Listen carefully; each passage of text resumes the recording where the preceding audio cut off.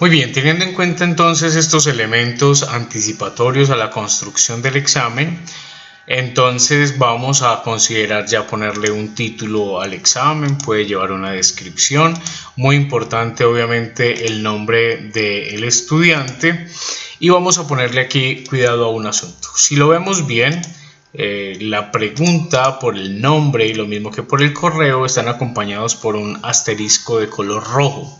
Eso implica que esas preguntas tienen que ser respondidas por los estudiantes. Si el estudiante no lo hace a la hora de querer enviar el formulario, el sistema pues le sacará una alerta diciéndole que necesita responder preguntas obligatorias o si no, no dejará enviar el formulario. ¿Cómo hacemos esto? Pues aquí en los punticos de la edición, en la parte inferior donde dice obligatorio, aparece un botón. Cada vez que nosotros le autoricemos el botón que nos cambia de color, significa que esa pregunta que estamos haciendo, pues quedará como obligatoria para el estudiante de querer enviar pues el formulario. Entonces tenemos el nombre, lo ideal es que preguntemos por el nombre completo, el correo electrónico si así ustedes lo quieren y vamos a mirar un elemento que se los decía ahorita muy importantes y es reconocer que el sistema nos puede ayudar a calificar el asunto. Por ejemplo, cuando nosotros hacemos preguntas por lo que corresponde a la forma de un enunciado y cuatro o cinco opciones de, respuesta, ya ustedes lo determinan, pues entonces el formulario siempre nos va a aparecer con tres opciones, pero una de ellas viene la respuesta correcta. La idea es que en las opciones, según este ejemplo, 1, 3 y 4, pues ahí pongamos las respuestas incorrectas y la respuesta correcta pues iría en el campo de respuesta correcta.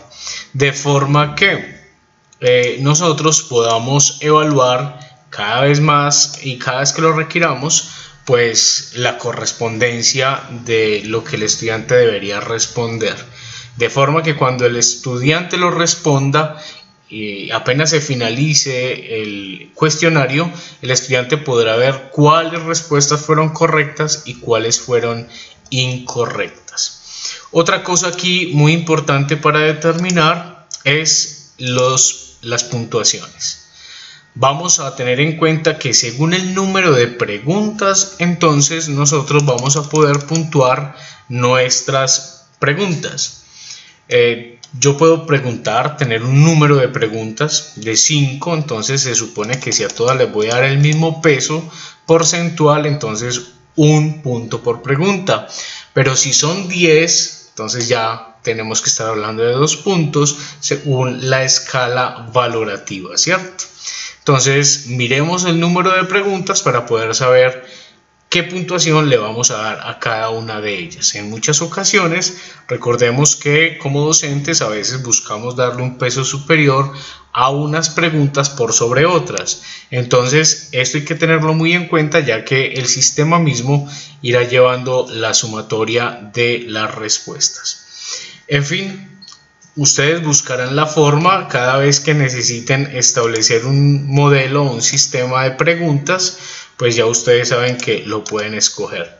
Lo importante es que cuando ustedes terminen el examen, entonces de elaborarlo, entonces podamos como tal mm, enviarlo.